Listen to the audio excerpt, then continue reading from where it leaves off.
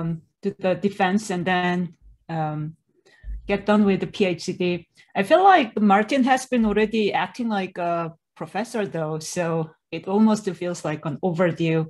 And it's especially um, impressive how only like maybe three years ago, um, when Maarten was leading some of the early research toward the social common sense and social inequality and bias, um, the field um, didn't really wake up to that sort of research directions just yet. So uh, the initial reactions were more mixed, but um, Maarten would just still uh, push ahead with enormous energy. And I'm so excited to see uh, what it, what all those um, innovative work culminates to, to uh, today's talk. So Maarten, go ahead. Thanks. Um, I'm going to share my screen. Thank you um, for that introduction. Um, yeah, and thank you everyone for, for being here uh, tuning in. I'm really excited to defend. Um, I'm a little bit bummed that we can't do this in person, um, but because of the fact that this is virtual, we can actually uh, have people from all over the world. Um, so that's really exciting. And so to my friends back home, uh, merci beaucoup d'être venu. And to my family, I uh, dank u wel gekomen te zijn. Ik hoop dat er toch iets van begrijpt. so yeah, today I am um, going to be talking about um, the research that I've done in the past like six years of my PhD. And uh, specifically, I'll be talking about how we can create NLP and uh, social common sense models um, with the goal of achieving positive societal impact. And so jumping right in, um, when um, I talk about social common sense, um, I'm talking about this kind of reasoning that we as humans are really easily capable of doing. And it allows us to reason about various aspects of social situations. And so, for example, when we see something happen, like Tracy accidentally presses against Austin in a small elevator and it's awkward, we can all reason about why Tracy might have done this. And given two options like uh, flirt with Austin or squeeze into the elevator, we can pick out easily that um, it's more likely that Tracy wanted to squeeze into the elevator and this is why this situation happened.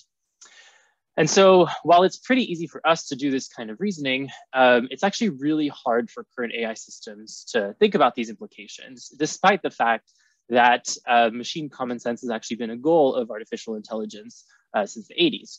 And so in this talk and in my research, um, I've attempted to sort of bridge this gap towards social common sense reasoning with machines.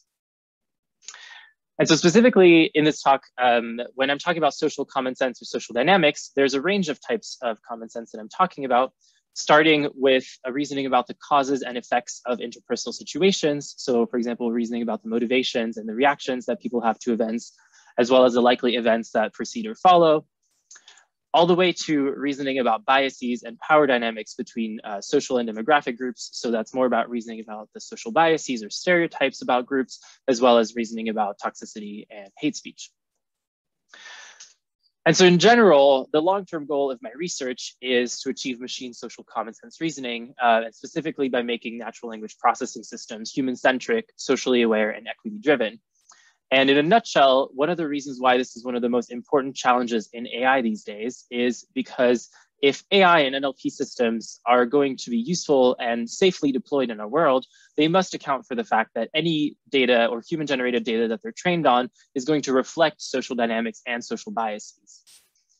And to be a little more concrete, I want to walk you through some example NLP tasks that I've worked on that will require uh, this kind of reasoning about social dynamics in order to work properly, and some failure modes to illustrate how they could uh, fail if they uh, don't account for these. And so one prominent example of an NLP application is conversational AI, uh, which is the task of creating um, digital assistants like chatbots and things like that and so here, if you don't have um, social common sense or social awareness, your chatbot could end up being really forgetful or apathetic, um, but it could also end up having really offensive conversations or offensive replies. And so a very prominent example of that was when um, Microsoft released a chatbot on Twitter that turned um, into a racist uh, Nazi uh, sympathizer in less than a day. There's a second task uh, that is also prominent in NLP these days, which is the task of language generation, um, or broadly um, all about generating or auto-completing text, generating news articles, things like that. And here, if you fail to account for common sense, uh, not only can you have very incoherent or mindless generations, but also your models can end up being uh, very biased and generating very offensive uh, generations. And again, a very prominent example here is um, the fact that one of the biggest language generators out there um, also uh, is spitting out very toxic uh, propaganda and things like that. And then finally, there's a broad area of NLP uh, that is related to uh, understanding text. And specifically, I've worked on hate speech detection and things like sentiment analysis. And here, um, you could have a really bad performance on input by uh, minority users, or your, uh, your, your model could have really biased behavior. For example, some of my own research has shown uh, that hate speech detection systems by Google uh, could actually be really racially biased um, and flag African American uh, tweets um, more often as toxic than uh, tweets by white authors. And so br just briefly a little bit um, of, of, background on these tasks, um, we've seen a lot of, um, you know, we've seen um, our models get a lot better uh, at these tasks like conversational AI or generation recently since the advent of deep learning, which has actually made performance on these tasks skyrocket.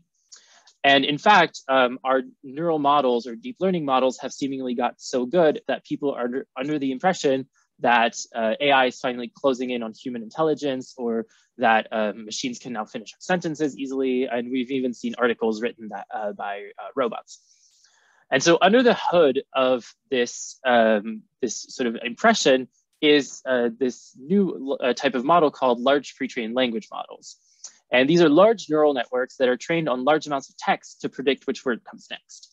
Um, and I'll explain really briefly what, what exactly goes into these. And so the key reasons uh, behind those successes of these pre-trained language models is that they are trained on this very fundamental task of predicting a target word given its context. And so uh, this could either be predicting um, a word given its left context in a sort of causal language modeling setting, or it could be predicting a word given both the left and the right context in the more masked language modeling setting. And so the crucial thing about this task is that this is just about reading text. There's not really any labeling necessary, so you can just grab a bunch of data from the internet. Another part of another component of the successes of these pre-trained language models is the fact is this um, new neural uh, architecture called the transformer, which has um, allowed computation to be sped up significantly. And with computation being sped up significantly, we've also, uh, this has enabled researchers to actually scale the size of their training data sets into um, really massive uh, large data sets. And so in recent years, we've seen these training data sets going from just a couple of books or maybe a, a set of news articles to um, large dumps of random internet data that amount to almost 500 gigabytes of text. And then with the size of the training data increasing, we've also seen our models get a lot, lot bigger. And so we started back in 2018 uh, with models like ELMo, which were uh, just short of 100 million, uh, 100 million parameters, going to GPT, BERT, Grover, et cetera, all the way to GPT-3 released last year, which was 175 billion parameters and doesn't even fit on a single server anymore. And then uh, basically six months ago, also uh, Google released their switch transformer would actually cross the trillion parameter threshold. So again, massively uh, massive language models that don't really fit on uh, our laptops or anything like that. And so um, with these models getting much, much better at uh, predicting which word should come next, uh, people have seemingly uh, see, or people have come under the impression that these models are understanding language, but that's not actually true. And part of the reason why is that they lack common sense. And so if we sort of look more deeply into these models' behaviors, we can see that they're actually nonsensical, they're behaving very mindlessly, and they're not really understanding text.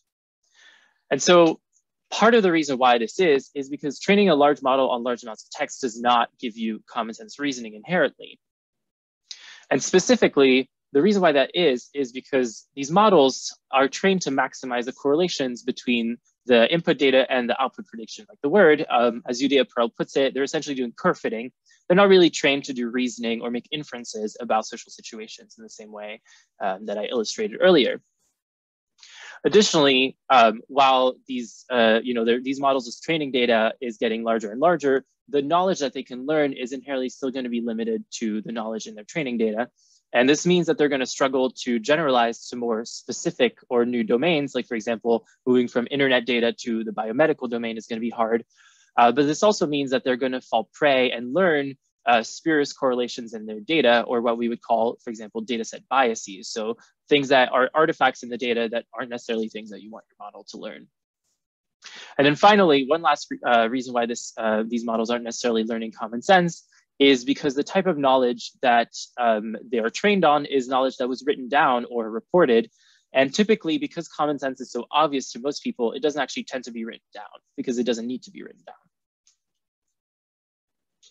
So in order to achieve my long-term goal of uh, machine social common sense, this is going to require advances in three different fronts. Uh, the first one is we need to create new symbolic formalisms to distill common sense knowledge for machines to use. Then we also need to create new methods or algorithms for combining this symbolic knowledge um, with the neural knowledge that these models are learning. And then finally, we need to create new evaluations for uh, analyzing the knowledge and the biases that our models are learning to make sure that they're fair uh, and equitable. And so during my PhD, my work has taken several steps towards uh, this goal of machine social common sense reasoning along these three methodological directions, and specifically covering uh, reasoning about interpersonal social common sense um, to reasoning about social biases and toxicity. But today, um, I will focus on three projects uh, specifically. I'm first going to start about, uh, with Atomic, where I'm going to explain uh, the creation of a large social common sense knowledge graph and how with that knowledge graph, we can teach machines to make inferences about the causes and effects of everyday situations. Then I'll switch to a different kind of social knowledge, uh, namely social biases. And here I'll show um, two projects on how we can represent and mitigate social biases in language. And then I'll briefly conclude with some uh, future directions towards um, achieving positive societal impact with uh, social common sense models. So I'll start with Atomic. So Atomic is an atlas of machine common sense. And so what I mean by that is a huge social common sense knowledge graph that contains um, almost 900,000 knowledge triples for AI systems to reason about the causes and effects of everyday situations. And so what I mean by an everyday situation is, for example, given an event like X repels Y's attack, as humans, we have common sense reasoning that allows us to make all sorts of inferences around this event, like why it happened, how participants feel. And Atomic distills this um, inferential knowledge into triples with nine different relations, and we represent this knowledge using short natural language phrases. And these dimensions cover knowledge around the causes of the event. So when X repels Y's attack, um, we can think about what needed to happen before. So maybe X needed to train hard or no self-defense before uh, X could repel Y's attack. But also maybe this happened because X wanted to protect others or save themselves. And this knowledge also covers the effects of the event. So after X repels Y's attack, what's going to happen? So maybe as a result, X will want to file a police report or leave the scene, or maybe uh, X will feel angry or tired. Um, but also maybe Y will want to attack X again or run home, uh, or maybe Y will feel weak or ashamed.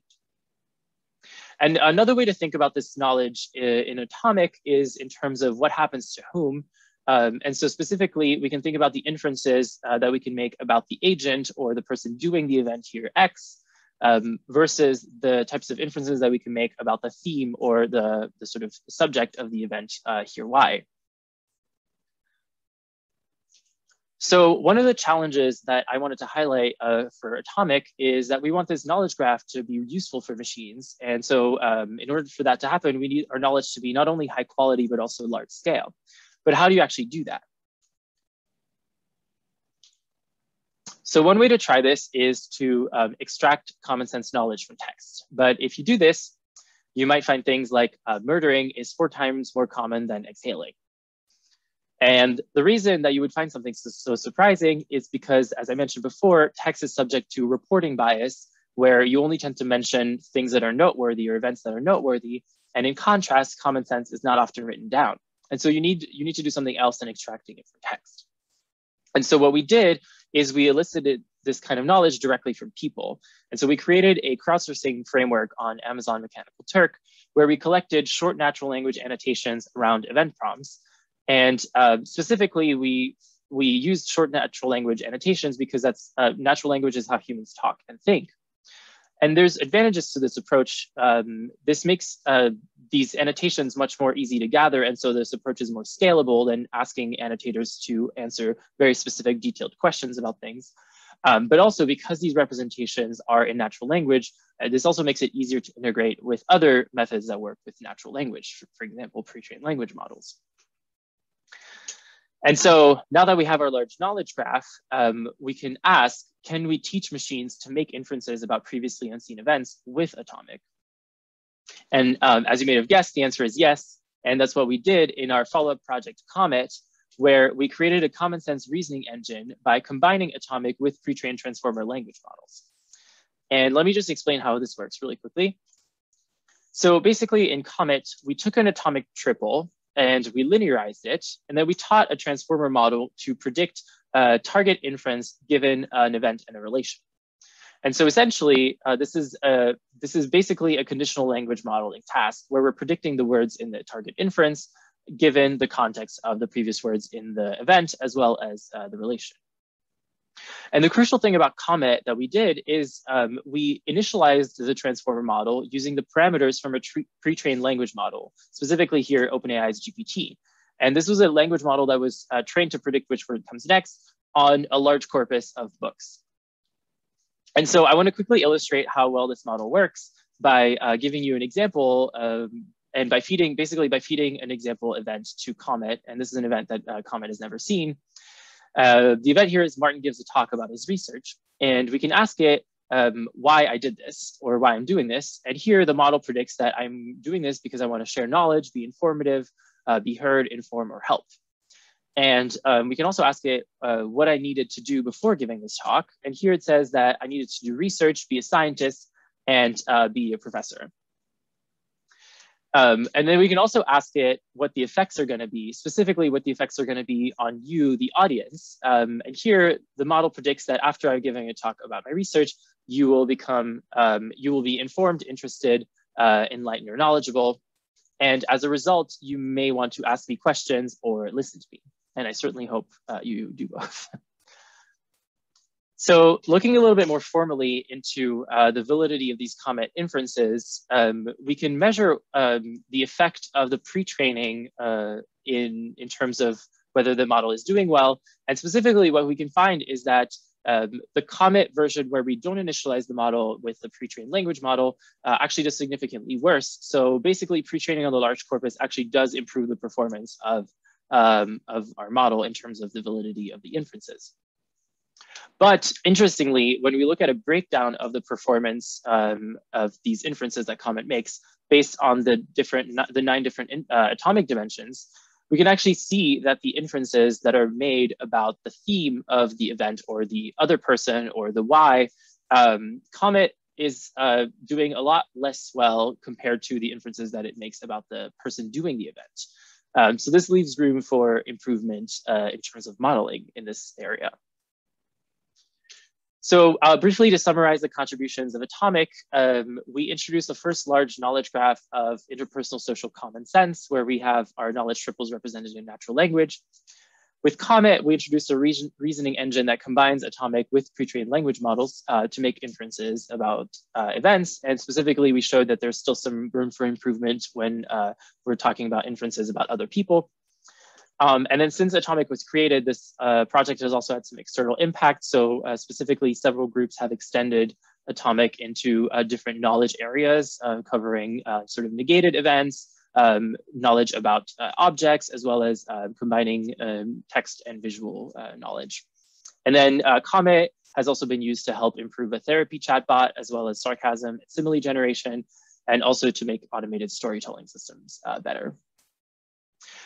So this concludes the part uh, on Atomic, which is the first project. Um, and so I wanna go back a little bit and revisit this notion of pre-trained language models.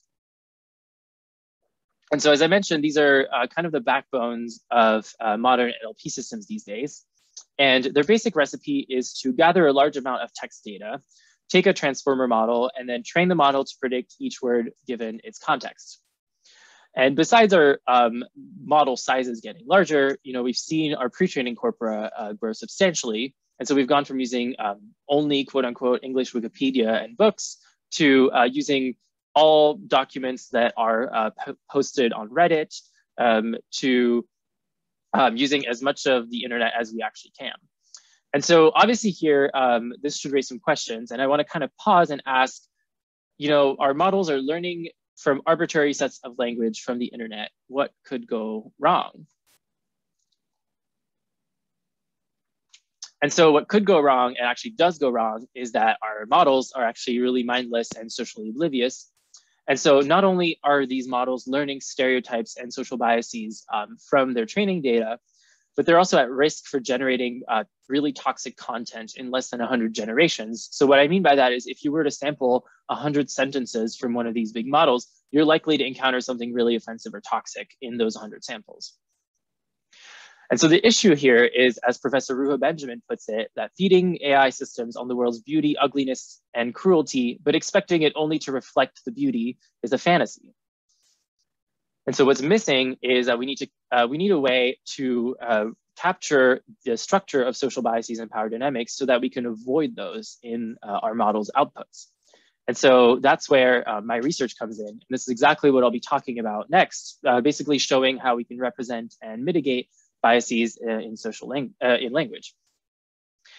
And so I'll start with a project called Power Transformer. So Power Transformer is an unsupervised controllable revision model for biased language correction. And here, when we're talking about bias, we're looking at uh, like looking at it through the lens of connotation frames of power and agency. And so briefly, to explain connotation frames, um, what those are is a common sense formalism that I introduced in 2017 that distills connotational knowledge related to verbs. And specifically, it distills knowledge related to the power differentials between the agent and the theme of the verb or the, the object and uh, the subject and the object of the verb. So for example, when someone is pursuing someone else, who has more power over who? It also distills knowledge around the agency that is attributed to the agent or the uh, subject, the person doing the event. Um, and here, someone with high agency tends to be someone who's very decisive, active, or driving change. Uh, so, that's someone who's doing a lot of finishing, wiping, beating, shooting, things like that. Whereas someone with low agency is someone who tends to be very passive and experiencing the events. So for example, that's someone who's resting, dreaming, waiting, pausing, things like that. And so uh, what we can do with these connotation frames is um, we can use them to analyze the way that characters are portrayed in various types of text. For example, in movies. And so in our original paper, that's what we did. We used a corpus of 700 modern movie scripts, um, and we studied the agency levels of characters with respect to the character's gender. And uh, glossing over the details, what we found is that men were portrayed with significantly higher agency and uh, women were portrayed with significantly lower agency. So this, um, there's significant gender bias in these movie scripts. And um, the reason why this is happening is something that I like to call the cycle of social inequality text. Um, and so what I mean by that is that we know that there is inequality uh, between minority and majority groups in the world. So for example, between men and women. And we know that language, the language that we use actually reflects the social dynamics and the social inequality of the world. And so then um, this social inequality will in turn end up written in text where oftentimes we'll find that minority characters are portrayed in biased or stereotypical ways. And then, unfortunately, the way that minority characters are portrayed are, uh, is going to influence our own view of the world and re can reinforce negative stereotypes uh, about minorities. And so this motivated um, our new task of controllable debiasing, which basically asks, can machines learn to revise text to debias portrayals and essentially break this cycle of social uh, inequality in text?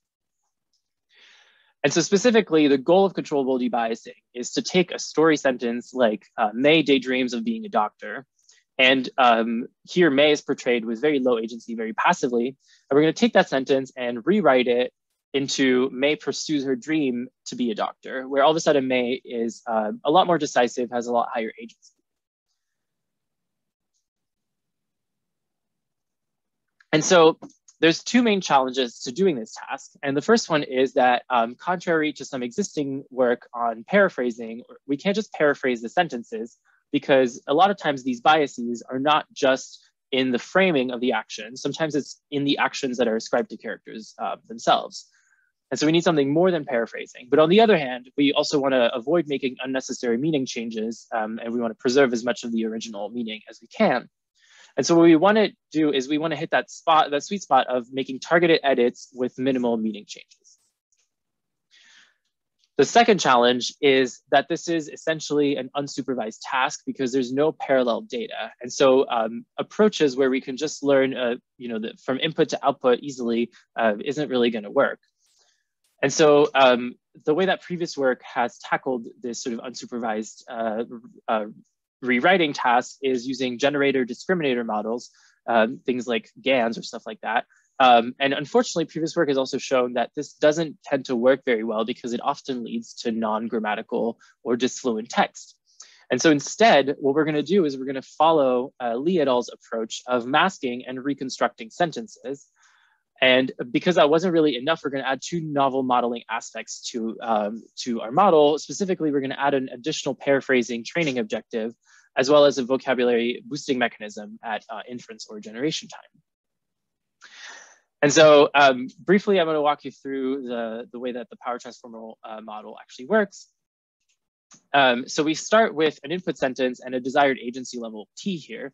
And we're going to mask all agency markers from the input sentence using our um, connotation frames lexicon. And then we're going to convert our desired agency level into a special token. And then we're going to feed those into a uh, transformer-based conditional language model that we here initialized with OpenAI's GPT, and then um, at training time, we're going to train this on our reconstruction and paraphrasing objective. So we're going to teach the model to do both reconstructing and paraphrasing. And then um, at test time or at generation time, we're also going to use our vocabulary boosting uh, mechanism to achieve the desired output. And so to be a little bit more specific, um, when we're doing this training, we have two, uh, we have a joint training objective that has two parts.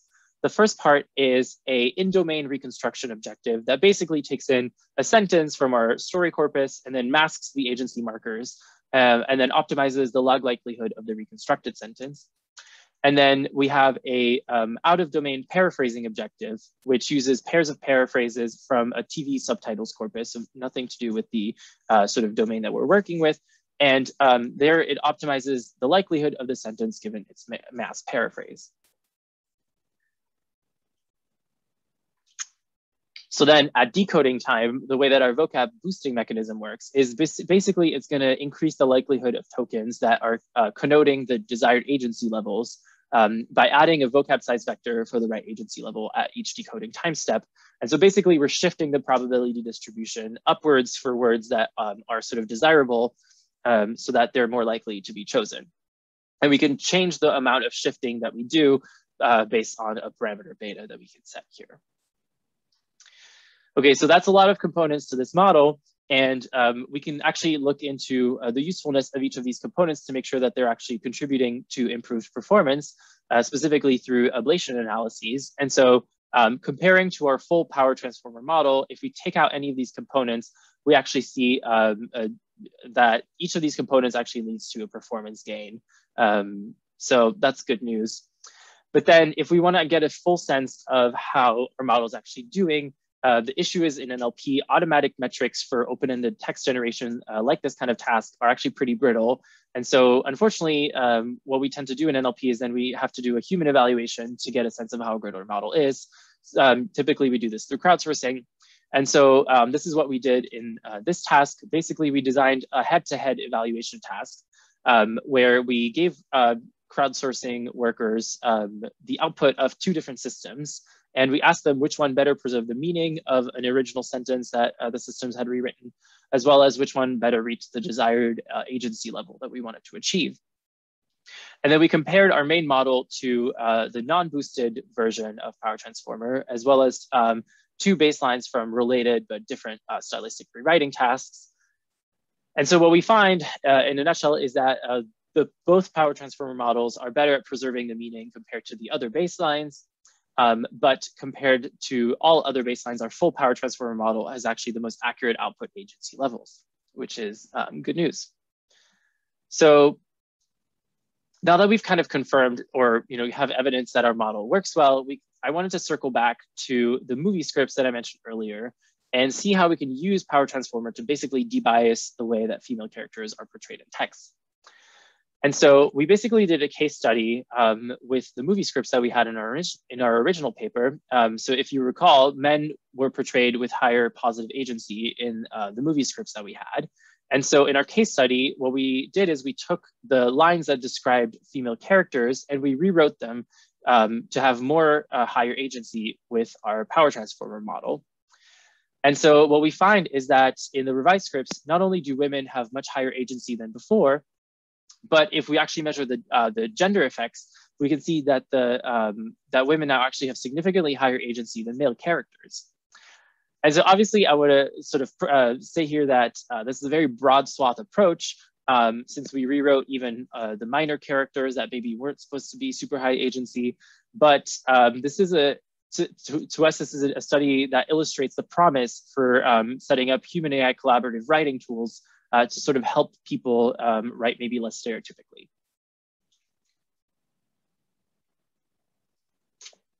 And so just to sum up the contributions of this power transformer uh, paper, um, we introduced the uh, new task of controllable debiasing of the portrayal of characters and sentences. Um, I also introduced a new common sense formalisms, which is the connotation frames of power and agency. And um, we also introduced our new model, uh, power transformer, which is an unsupervised approach to doing this controllable debiasing task. Um, and briefly, I also uh, quickly want to mention the external impact of this work.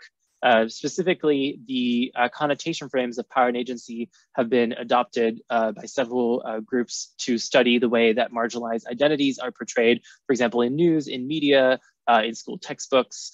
Um, also, the connotation frames uh, were um, discussed in the latest version of uh, a very standard natural language processing textbook, uh, uh specifically speech and language speech and language processing, which was uh, really exciting. So, taking a, li a, little bit to a higher level, um, the Power Transformer results really highlighted the promise of using NLP tools for debiasing text, and specifically highlighted this promise of doing this by combining common sense models with neural models. Um, and here we looked at uh, bias through the lens of connotation frames, and we used pre-trained language models as a backbone. And these promising results raise the question of, could we come up with models that mitigate a broader set of social biases? And as you guessed, the answer is probably yes, but it will require designing new formalisms to capture this broad set of social biases. And so this leads me to the last project that I'm going to talk about, which is called social bias frames.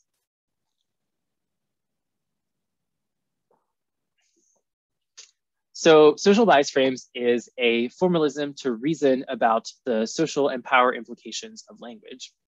And before I go any further, I do want to warn y'all that the content in this talk, uh, in the rest of this talk, may be upsetting or offensive because we're discussing things like biases and stereotypes and hate speech. And when we're uh, talking about social biases, we're approaching these from a US social cultural perspective. So when people talk about uh, harmful biases uh, in text, there's usually two ways that these could be expressed. Um, one is a very overt way. So for example, when someone says we should kill all XYZ demographic group, um, we can all kind of agree that this is toxic and this is easily detected as toxic by uh, your off-the-shelf commercial uh, toxicity detection systems. But there's also a second type of bias, which is much more subtle. For example, in this statement, we shouldn't lower our standards just to hire more women. And so here, because of how language um, implicature works, we can all understand that this implies that women are less qualified than men. And this is a type of unconscious bias that is very harmful, but still is not really detected by your off-the-shelf uh, toxicity detection tools. And in fact, this is flagged as fully harmless. And so um, this motivates our creation of social bias frames, uh, which is a new structured formalism that distills knowledge about the harmful and biased implications of language. And so specifically, the way that our social bias frame um, is structured is given a post or a statement, like we shouldn't lower our standards just to hire more women, we're going to ask a categorical question of, is this considered offensive or not? In this case, annotators said yes. Was this intended to be offensive? Here, uh, people said maybe. We're going to ask, is this referencing something lewd or sexual? In this case, not really. If it is offensive, is this targeting a group or just an individual? In this case, it's a group. And then we're going to ask a free text explanation of which group is being targeted. Here, uh, it's women. And um, we're gonna ask a free text explanation of what the bias is or what the implication is. And here it's that women are less qualified than men.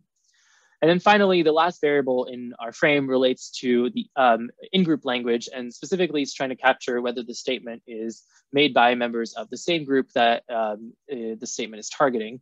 And here that doesn't really seem to be the case.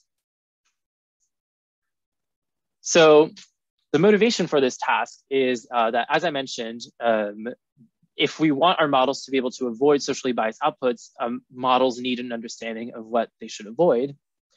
Um, and so social bias frames is kind of a new view on representing this what to avoid or the social biases. And specifically, it's more holistic than uh, using binary hate speech or offensiveness or toxicity classification, not only because what um, constitutes something hateful or offensive can actually depend on sort of how people define it or uh, how you yourself uh, how you yourself perceive uh, a statement, um, but also more importantly, the, uh, the, this binary sort of setup can actually backfire and can uh, be biased against the very minorities that it's trying to protect. And so, as I mentioned earlier, some of my own work has shown um, that uh, automatic uh, toxic language detection systems are actually racially biased and uh, tend to flag uh, speech by African American authors as toxic more often than by white authors. And so uh, addition, in addition to being more holistic than binary hate speech detection, our uh, social bias frames uh, framework is also more trustworthy because it inherently comes with explanations of the implied biases. And so it can actually help educate people on um, what's sort of what the problem is with a statement instead of just being an opaque percentage of toxicity. So um, in order to study these kind of social biases in the wild, we also introduced uh, the social bias inference corpus, which um, basically covers 150,000 social bias frame tuples that were annotated from 44,000 uh, different social media posts, including from Twitter, Reddit, as well as the neo-Nazi communities of Gab and Stormfront, and some really um, misogynistic uh, subreddit communities that were banned, like r slash incels. Um, and our corpus contains uh, 34,000 different implications about 3,000 different demographic groups. Um, and so obviously I don't really have time to cover um, the details of how this was created, but I do wanna highlight two aspects of uh, this corpus. The first one is that uh, due to the way that we selected and trained our annotators, uh, this was actually pretty high quality. Um, and second is that the types of identities that are targeted in our corpus are actually representative or in line with uh, the types of discrimination that people report experiencing in real life. And so we're not capturing um, political disagreements online, but we're actually capturing uh, social biases that could have real world implications.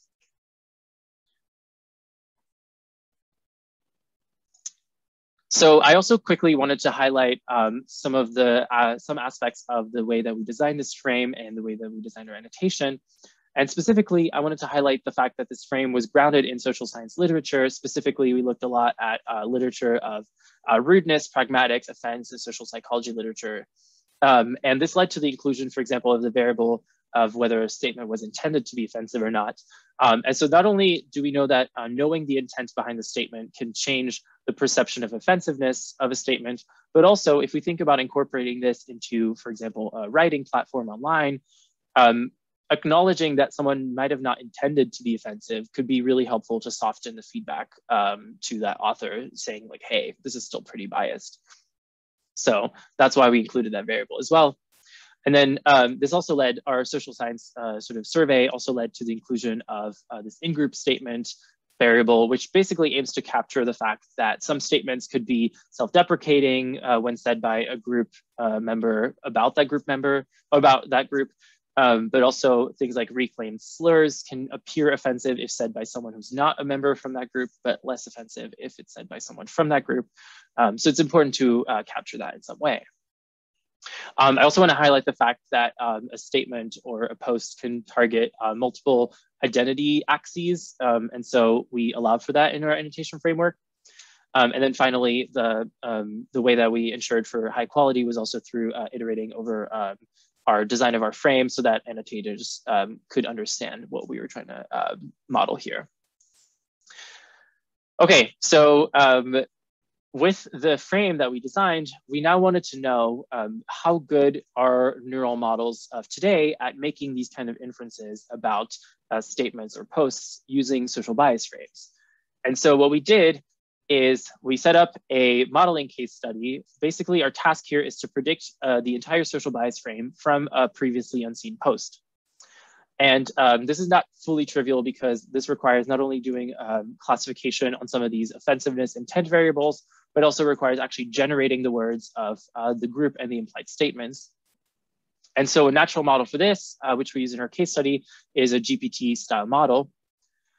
And specifically, the way that we set up this modeling is we took our frame um, and we linearized it, uh, and we added special tokens for each of the classification variables. And then we passed them through a transformer-based conditional language model, similar to how we did with um, Atomic. And basically, we optimized or trained our model uh, using the negative log likelihood of all tokens. Um, and uh, yeah, that's how we train our model. But then at um, generation time, or when we're predicting a social bias frame, we're going to take our uh, previously unseen post, and then we're going to conditionally generate uh, the linearized frame token by token. And the problem is, um, if you can see in this example here, the problem is that you can lead, you can get a generated frame that's inconsistent with the frame structure. And this is a known issue with this kind of setup uh, where uh, the structure of a frame isn't always learned properly. And so in this case here, the problem is that this post was predicted as not being offensive, but still having implications about a, a demographic group. And so what we need to do is enforce the structure post hoc.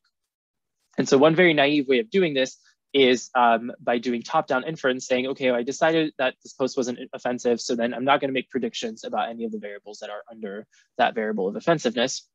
However, um, we could do something a little bit more holistic um, by doing some sort of global constraint inference, where we're basically can we can let our um, future decisions correct some of our past mistakes that we made. And essentially, um, if we generated implications, we can flip that variable of offensiveness and say, oh, maybe this was actually offensive.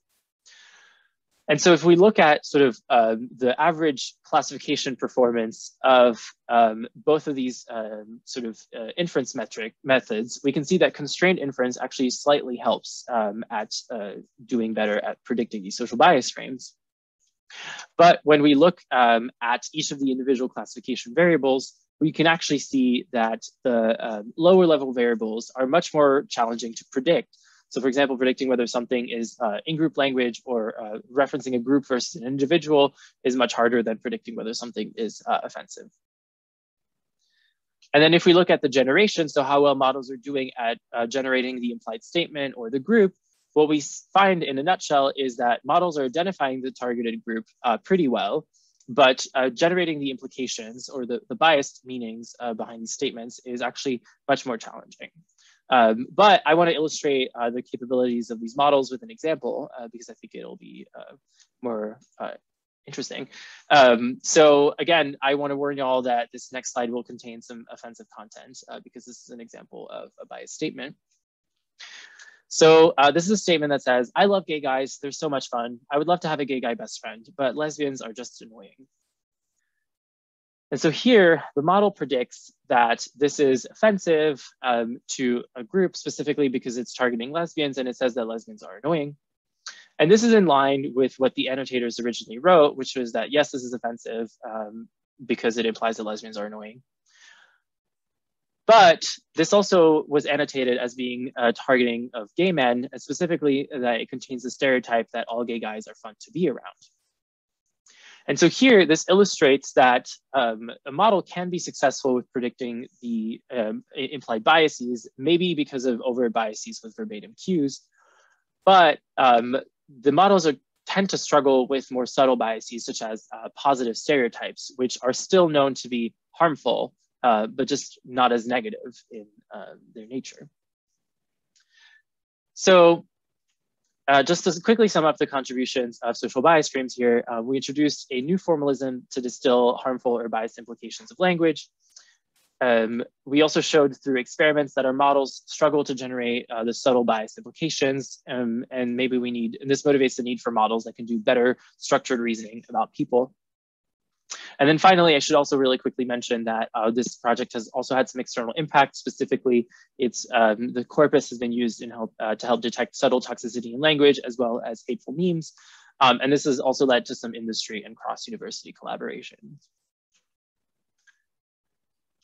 Okay, so this concludes uh, the part on social bias frames. And so I really wanted to quickly summarize the challenges that I've tackled in uh, the three projects that I described, and then outline briefly some future work that I'm really excited about. So in this talk, I tackled several challenges. Uh, with Atomic, we tackled the challenge of how to represent knowledge about interpersonal social common sense at a large scale for machines to use. And then with Comet, we tackled the challenge of how we could um, make machines do inferences about social dynamics.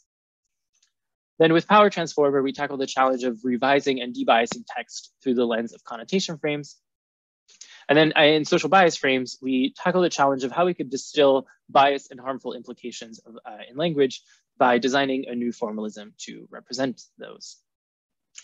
And so while these results from these projects were pretty promising, there's still some uh, you know, work left to do. Um, and so I wanna talk re really briefly through some future directions towards achieving positive societal impact with uh, machine social common sense reasoning. And so um, there's three sort of uh, fronts that I'm really excited about in terms of future work. Um, the first one is this broad area of um, uh, creating uh, more knowledge for machines to use so that they can reason about social dynamics. And so this is extending the family of uh, atomic social bias frames, connotation frames, um, and so, for example, one thing that uh, I'm really excited about that is going to be really crucial towards culturally aware uh, NLP is uh, being is for those systems to be able to reason about social norms and morality. Um, and so there's a, a, a, little chemistry icon here because there's some preliminary work that we did with some co-authors um, on distilling social norms um, um, evoked by situations, but um, there's still a lot of open challenges in terms of what kind of knowledge is needed for uh, you know, achieving true social common sense reasoning. The second front that I'm really excited about is um, that we need to keep creating new NLP methods um, and algorithms for people-centric reasoning. And so um, on one hand, this, it's really important for our models to be able to reason about different participants of situations differently because social common sense is inherently a people-centric task. So this is kind of echoing back the findings on Comet where um, predictions on other people were harder to do than predictions on the person doing the event. But also, as technology is uh, becoming increasingly prevalent in society, um, this also opens the door for a lot of really interesting human AI collaborative writing setups. And so we need to keep developing methods that can take on uh, human input at different stages of the pipeline or even work with humans from the get-go um, to be more people-centric. And then the third front that I'm really excited about is um, applying our social, socially aware models to uh, NLP applications specifically to uh, achieve positive societal impact. And so I'm really excited about developing socially aware um, text or dialogue generation, so dialogue systems that uh, avoid offensiveness, uh, even if it's very subtle, but also creating text revision or debiasing systems, uh, for example, using Power Transformer with social bias frames or something like that. Um, I'm also really excited in furthering um, in in in getting in achieving fairness, ethics, and justice with NLP systems. So, for example, uh, designing models that work for um, that that work for uh, all types of populations, not just sort of uh, mainstream white uh, English, as well as uh, debiasing our, our models uh, post hoc or things like that. Um, and then finally, I'm also really excited in in the possibility of applying our, our models to answer social science questions. For example, um, cognitive science questions about how people recall things or uh, things, uh, social psychology questions as well. And so with that, um, this concludes my talk. And I wanted to thank you all for, for listening and tuning in. Um, I also wanted to thank my collaborators, without which I obviously wouldn't have gotten to this point. Um, and a special thanks to uh, my advisors, Noah and Yejin, um, and also to Tim and Sapna for agreeing to be on my committee. And um, I also, you know, finally want to mention that doing this PhD was a really long and hard process, and I couldn't have done it without um, the support of my friends and my loved ones. And I want to give a special shout out here on the slide to all the UW NLP, CSE, and UW folks um, or friends that um, only some of which I could find photos with. Um, but I'm really grateful that y'all agreed to have lunch with me at the office instead of uh, eating at our desks, um, and that you, you know, agreed to go out to brunch or happy hour with me in general, just were there to support uh, me and celebrate. So with that, um, I want to thank you all for listening, and I'll take some questions now.